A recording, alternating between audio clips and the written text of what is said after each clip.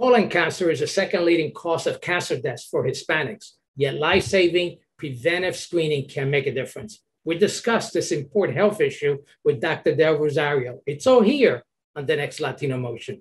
Join us. Choose to get lost in the woods to gain experience in forest management. Choose to travel through time to understand the past. Choose to soar to pursue a career in dance. Stockton University offers 50 high quality academic programs, small class sizes, and affordable tuition. Choose to match your interests and talents at one of New Jersey's nationally ranked universities. Latino Motion with Bert Lopez is presented by Latino Motion Public Affairs Media, a New Jersey nonprofit corporation, and Stockton University. This edition of Latino Motion with Bert Lopez is brought to you by the HD Studios at the campus of Stockton University. Funding for Latino Motion is provided by Atlanticare, offering primary, specialty, and urgent care, plus surgery and more. Atlantic City Electric, energy for a changing world. And South Jersey Gas. Health disparities in the Hispanic community is a major concern for us here at Latino Motion and ALMA and Atlanticare Employee Resource Group. That is why we are partnering to present this health segment. Tu salud es importante para nosotros. Welcome to Latino Motion, a weekly interview show highlighting issues impacting New Jersey's Latino community while advancing understanding of Latino cultural heritage and contributions to our society. And here is your host, Bert Lopez. Buenos dias and welcome to Latino Motion. Among Hispanics, colon cancer is the second leading cause of cancer deaths. Yet, life saving prevention screening has dropped significantly we have Dr. Miguel de Rosario. He's a medical director for the Division of Colorectal Surgery at Atlanticare to discuss more about this health impact. Dr. de Rosario, welcome to Latino Motion. Gracias, Bert. Thank you for having me here today and, and this uh, educational, informational uh, meeting you're imparting on the Hispanic community. It's, it's a great work that you're doing, especially considering the significance of the problem. Yeah, so let's talk about that problem, right? And and and, and let, us concentrate on, on, on what the impact uh, is uh, among Latino. There certainly is a disparity uh, in terms of uh, colon uh, related deaths um, uh, in the Latino community, and yet COVID has also had an impact because there are less people getting screening. Let's talk about that issue. Yeah, so I mean, the facts are, you know, they don't lie. Uh, colon cancer is the second leading cause of death uh, among Hispanics. Uh, that accounts for about 21% of deaths uh, in the population. That's one out of five people. Uh, the question is, why is it such a large cause or a significant cause of death in the Hispanic population? And that's why we're here to talk today and, and educate the Hispanic community at large to see if they can do something about it. Uh, if you take that fact along with the recent events of the pandemic and the quarantine in the past year, um, the, the, number of colon cancer screenings to check or prevent colon cancer plummeted uh, as much as 86% between, between last March and, and this year. Um, and that doubly affects the, the, Hispanic community because we're seeing cancers or colon cancers prevent later and at a later stage with a, a lower survival rate. And it's a big problem and I know that even before COVID, um, there had been an issue in terms of getting Latinos access to uh, get the screening, uh, to make the appointments. Uh, so it's still a challenge. Uh, we can't all blame it all on COVID, uh, but why is it so important for this early detection for the screening to take place? Yeah, that's a great question. I mean, we're seeing that survival rates after diagnosis and the screening rates are lower in Hispanic population. Um, we're not quite sure, but the feeling is that part of it may be cultural. Um, amongst Hispanics, they may think colon cancer is a men or a man only disease, but that's not really true. It affects men and women equally. Uh, so, cultural uh, differences or beliefs may be uh, one reason why uh, Hispanics are not getting screened. Uh, the other thing is lack of access or less access to timely and high quality treatment. Um, that should never be an issue for the Hispanic community. There is excellent healthcare and access and access to screenings and treatment if you do need the surgery. Um, but it's it's widely available. You just need to be motivated enough to seek the help uh, in order to gain the care, the proper care that you need. And in this community, we certainly can provide that, uh, you know, regardless of ethnicity, but especially uh, to the Hispanic community who may feel like they don't have this access to the uh, appropriate and timely health care. Uh, let's discuss some of the, uh, the, the, the, the demographics, if you will, in terms of who is high risk for colon cancer. Uh, it's basically by age. Okay. By virtue of age, you can be an Olympic athlete who is a vegetarian, never smoked, never drank a day in your life, and you will still have the same risk for developing colon, uh, colon cancer once you turn 45. So, in the average risk individual, uh, screening begins at 45, regardless of symptoms.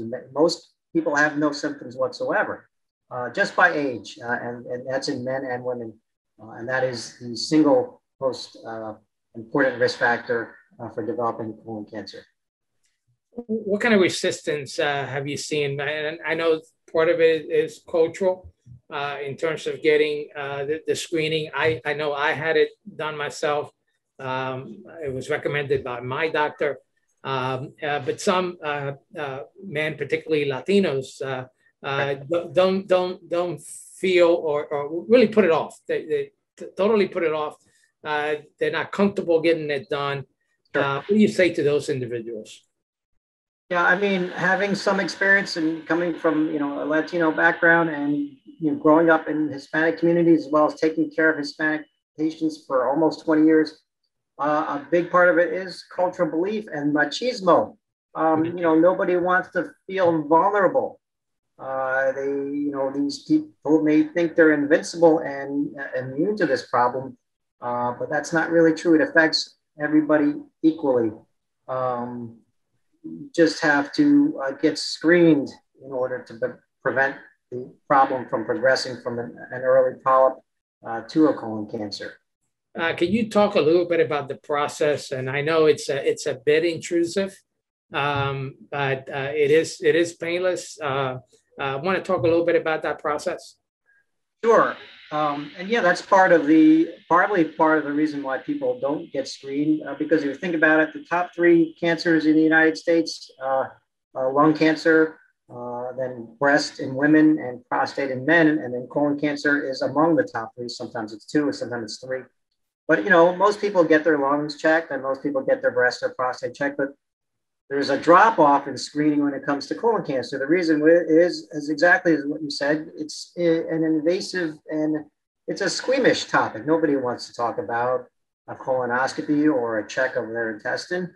Um, but really, the, the process itself is, is, is painless. Uh, you're sleeping, and it's, it's not something you need to do every year. It's, it's something you may only need to do every five to 10 years. Uh, you know, at one time it was uh, taboo for women to talk about breast cancer at the dinner table because they were ashamed. It's probably the same way with colon cancer. Nobody wants to make that the topic of daily conversation. But if you look at the numbers, people are dying and or getting diagnosed with colon cancer. So you have to be honest and you have to talk about it and, and get the facts and get get screened. It's literally, you know, the, the screening is an ounce of prevention. Uh, versus the pound of cure, which is what I do with the surgery. Uh, let's uh, uh, talk a little bit about uh, you. You mentioned uh, uh, your sleep, so th- there is anesthesia. Um, it is a, a, a, procedure that you go through. Um, again, are there any um, side effects for that process? Yeah, so the, yeah, so the process itself, the procedure itself may take 10, 15 minutes and you know having had it done myself at the appropriate age uh, i know what it's like. The, the worst part is the night before uh, the procedure you have to take a prep which is you drink some chemicals or some strong laxatives to give you diarrhea. That's the worst part. And, and the procedure itself uh, you don't remember of anything any of it in, in your sleep the whole time. Again, I've went through the process and uh, it, it, it was fine. Uh, no, no issues, obviously, that uh, discomfort at, at, the day before, like you mentioned. Well, doctor, we want to discuss uh, um, a lot more regarding this topic, very important topic, a life-saving topic for many in the Latino community. we're going to take a quick break. We'll be right back with more Latino Motion.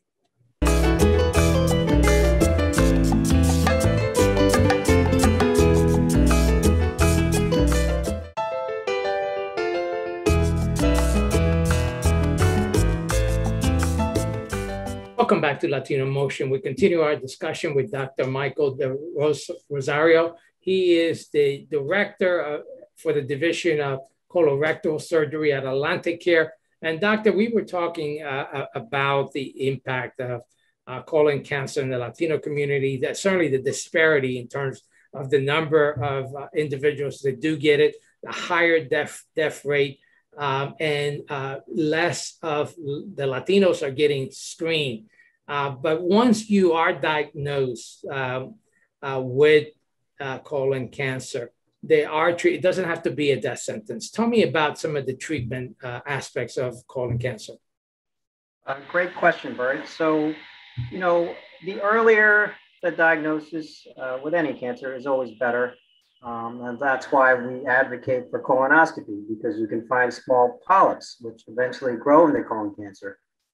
If the polyps are small enough, they can be removed through the colonoscope, uh, basically curing cancer before it even starts, and you will never need surgery if you remove that benign polyp.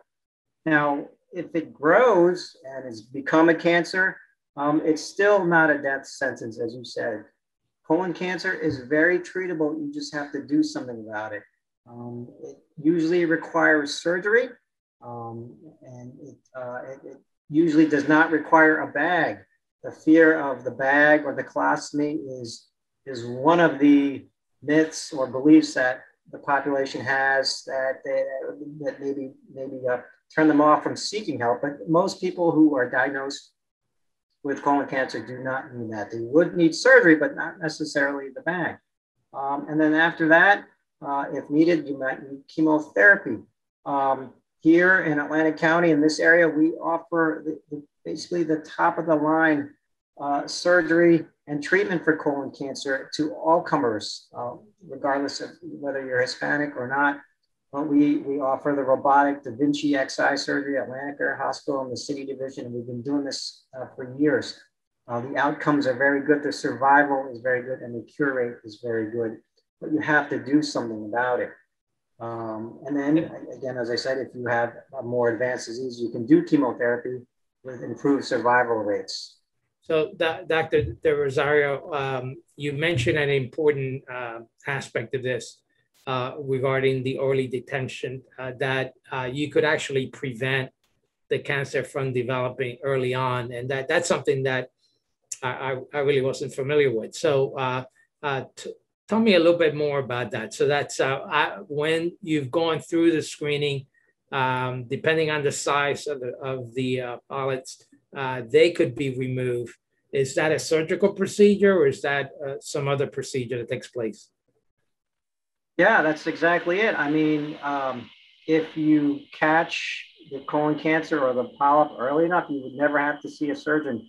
Um, and that's the basis of screening with the colonoscope.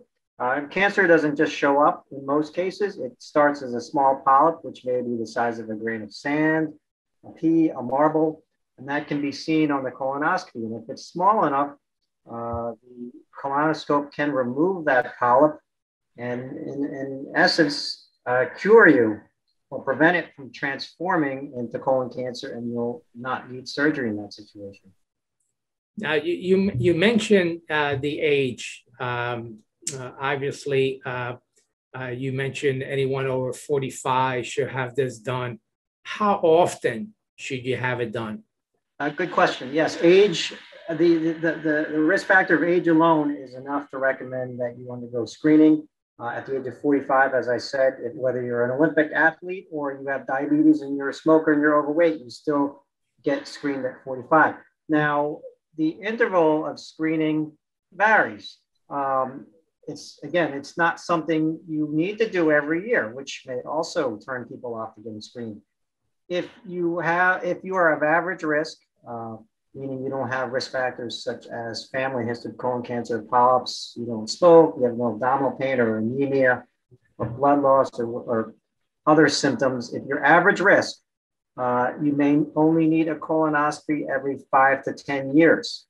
Um, and then we adjust it based on the findings. For example, if you have a small polyp, you may need it another colonoscopy in three to five years. Uh, if you have a larger polyp, you may need another colonoscopy in one to two years. It all depends on what they find at the initial colonoscopy, but certainly it's not something you need to do every year. Uh, doctor, you mentioned um, age was the primary factor, but there, I think you alluded to some other factors um, that put you at risk. And I, I believe, particularly within the Latino community, mm-hmm. uh, where there is a high risk uh, for diabetes, for example, that's also a risk factor, isn't it? Yes, I mean, within the Hispanic community, um, increased body weight, uh, diabetes, um, and there's also other risk factors such as smoking and alcohol, uh, sedentary lifestyle. Um, these are factors you may see in all uh, ethnic groups, but you know, particularly in the Hispanic community, um, it may be a slightly increased prevalence of these risk factors, which should all the more prompt you to seek screening earlier or at least on a timely fashion. Um, you know, part of your program is to educate the Latino and Hispanic community um, if your doctor is not um, offering you these options or discussing these screening uh, options, sometimes you have to be proactive and, and take charge of your own health with this knowledge and say, you know, am I somebody that should be screened? What are my risk factors? And, and, and seek the uh, available treatments and therapies that we have, uh, which are, are, again, top of the line in this area to the you know for the Hispanic and Latino community, uh, as well as uh, you know everyone else in general. And I know, doctor, that there have been advances in terms of treatment, um, and uh, there have been a uh, drop in terms of overall deaths, and unfortunately, the Latino population has not uh, decreased in the same rate in terms of the deaths. tell me more about that.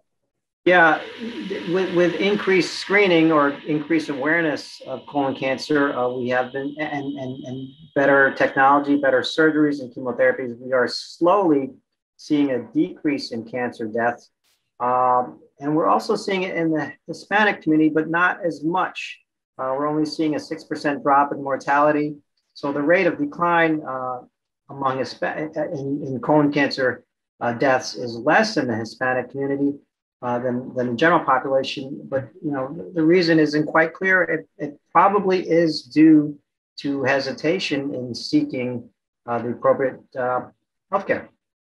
Yeah, and if I look at the numbers, non-white, uh, non-Hispanic whites have decreased about 15%, whereas Latinos only 6%. So that, that means that uh, Latino diagnosed with uh, colon cancer uh, is, is, is uh, much higher risk of dying from it. and obviously, it's all about early detection and getting the access to treatment, correct? That's exactly it. I mean, if if the purpose of this show is to educate at least one person in the Hispanic community, uh, then you've done a great job. Uh, I mean, the way I envision programs or educational uh, shows like this is that the, the viewer can think about themselves and, and what their risk factors are for colon cancer and then start to talk about it, seek help at least, and then spread the, the, the message to their family members. And, and that's how you, you uh, use the power of, of these shows and educate the, the community in general. Exactly. On, on, on a big I'm, problem that's real, yes. Unfortunately, we had to take a quick break. Right. Uh, uh, this is great information. We'll be right back with more Latino Motion.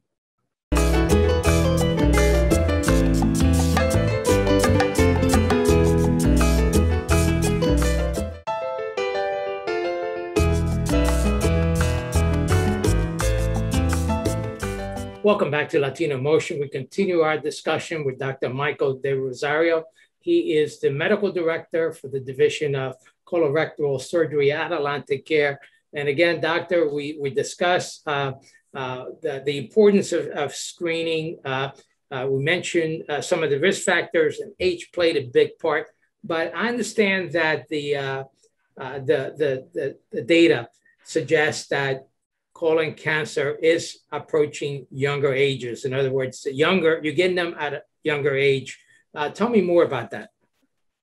Yes, it is a scary uh, phenomenon we're seeing. Um, for many years, the, the, recommended initial screening age was 50 years old. Uh, just recently, they dropped that to 45 years old. Why? It's because we're seeing colon cancer in younger individuals. Uh, I mean, the youngest I've seen colon cancer was someone who was 18 years old. That's uncommon, but it exists. Uh, but we are seeing it at, at, at, lower age groups, and it's affecting individuals uh, who are much younger than 45 as well. So, doctor, is there a recommendation if you're younger than 45 to get the screening done? Uh, what would be the factors or consideration to get screened at a younger age? Yes, a great question. If you are average risk, um, meaning no family history, no symptoms, you get it at 45, whether you have symptoms or not. Abdominal pain or bleeding is not, uh, or lack of that is not uh, a, a, reason to not get your colonoscopy. So if you're younger than 45 and you have any symptoms such as weight, unexplained weight loss, uh, change in your bowel habits, bleeding from your rectum, such as when you move your bowels, anemia or low blood counts, or any unusual change in your overall health, you should seek uh, the advice of a physician to see if you should get your colonoscopy younger uh, because it does exist in younger patients. Well, Dr. Uh, you've been involved in this field for a very long time, and I just want to shift gears a little bit uh, to talk about you. I know you're uh, originally from the Philippines, uh, but you have uh, that Latino blood because uh, the Spaniards were part uh, on the Philippines for a while. or occupied it, I should say, um, and you have a Latino last name, but you're also very fluent in Spanish. Do do work a lot with the Latino community. Tell me more about your your story and and how you got involved in this field. Yeah, thanks, Bert. I mean, I, I grew up uh, in New York uh, in a Latino uh, community. Uh, I've spoken Spanish since uh, elementary school, um, and it has actually facilitated uh, the care of um, many of my patients, uh, a large part of whom are Spanish only speaking. Uh, and just just communication itself and the, the ability to communicate uh, between you know ethnicities and languages does improve the healthcare and the treatment the patient receives. Um, but I, I, you know, I, have been down here in Atlantic County uh, since 2003 and caring and, and for and serving the community, uh, all comers, uh, especially the Hispanic community. And we have been providing uh, the, the, best in colorectal cancer care uh, since I've been here. Uh, in, in, 2003, we did the first laparoscopic minimally invasive colon surgery. And then we bumped it up a notch in 2011. We're doing robotic surgery now. What does that mean? It's not a big cut like you may have seen other people get. It's it's smaller incisions uh, because let's face it, uh, whether you're retired or you're working or you're in school, and if you need surgery, everybody's busy. We don't have time downtime. We can't take a lot of time off, which the big cut surgeries uh, end up making you do. The, the, the robotic or the minimally invasive surgery uh, gives you less pain and a quicker recovery time. Uh, and it, it is the, the, cutting edge or top of the line uh, therapy for colon cancer at this time in the United States, if not the world. Oh, it's it's it's great that we have uh, you in our community, and uh, particularly uh, access uh, for our Latino patients to be able to have access to you and speak in their own language. let me just ask you, how did you get involved in the field? I mean, this is it's not an easy field, and I'm sure a lot of schooling, but something piqued your interest to get involved. Tell me more. Um, I, I, just I have I have both parents. Both my parents are uh, afflicted with cancer. Um, so uh, taking care of, of, patients with cancer has become very personal to me.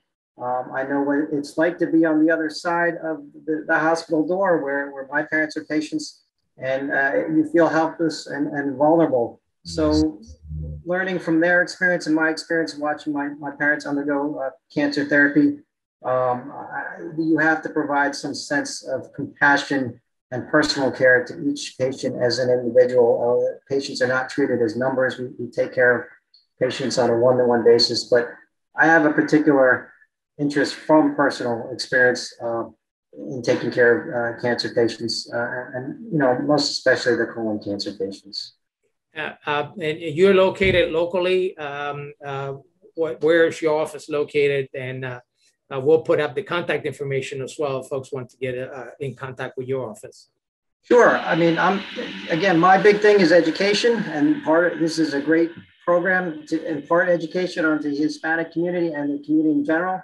If, if even one person can learn something about colon cancer from your show, then you've done a great job. Um, our office, I'm part of the AtlantiCare Physicians Group, the surgical services. Uh, we are in Galloway on Jimmy Leeds Road, uh, but you can certainly find information on the Atlanticare webpage on their uh, colon and rectal surgery providers. Uh, and, and while we have you, and uh, uh, we, we do have uh, young folks who uh, listen onto the program as well, uh, those who may be seeking this field, medical field, um, what, what kind of advice will you give young ones who, the youth who are seeking to get into the medical field? Right.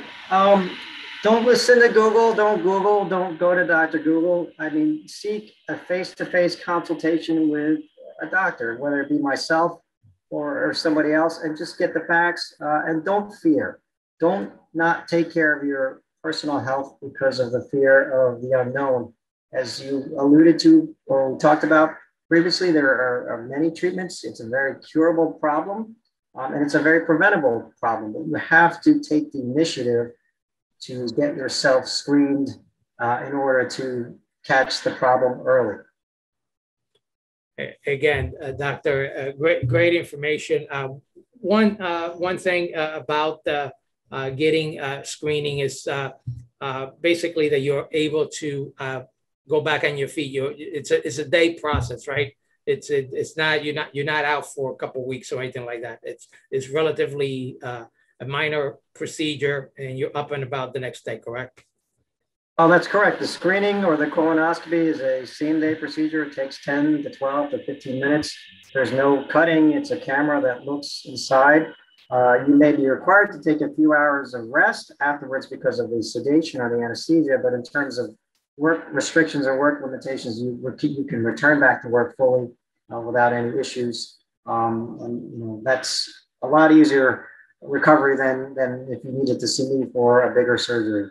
And there's uh, no issues with insurance, right? It's a common procedure. So if you're age appropriate or have the symptoms, uh, certainly uh, most insurance or all insurances will cover that preventive measure, correct? Oh, for sure. I mean, screening colonoscopy is, you know, covered by insurance. It is an approved procedure and it's something that's required. Uh, and even if you do not have insurance or you're financially challenged, that should not be a reason to not seek screening. Atlanticare certainly has great resources in terms of charity care uh, to make sure you don't get stuck with an unexpected bill, but we can help you uh, get yourself the medical care or the screening you need. There are cancer foundations throughout Atlantic County as well that will help those who may be lacking in insurance or are financially challenged. Dr. De Rosario, thank you so much. Muchas gracias. It's great information. Thank you for joining us. for having you, Bert, and I appreciate the uh, opportunity to speak to the community. Well, thank you all for joining us once again here at Latino Motion.